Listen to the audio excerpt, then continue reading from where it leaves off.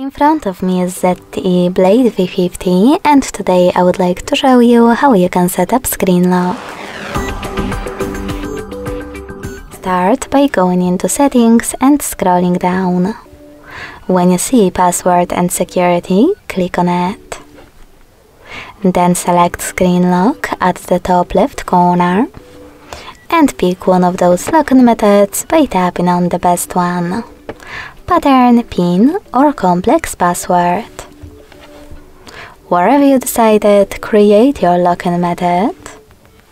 And to continue, hit next at the bottom right corner. Then repeat it in order to confirm it. And hit confirm also at the bottom right corner.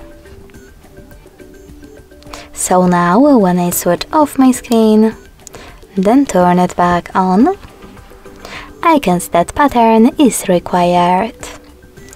Thanks so much for watching, if you enjoyed this video leave a like, comment and subscribe.